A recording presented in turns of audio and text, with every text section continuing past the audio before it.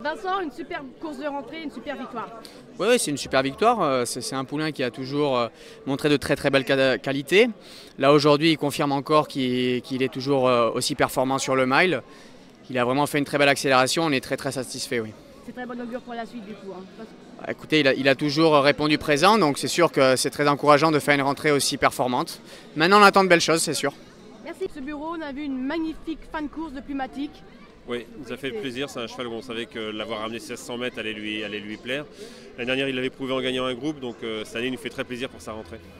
Euh, est-ce que la suite logique, c'est disparant ou il y a vraiment beaucoup d'options, on le sait, après le prix du Muguet?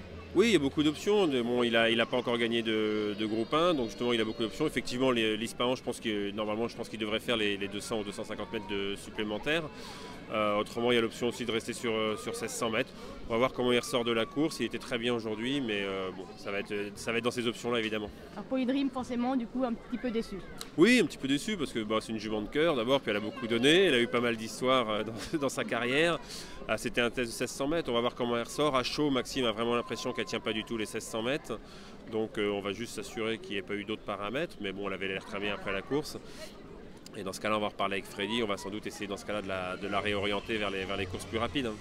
Merci.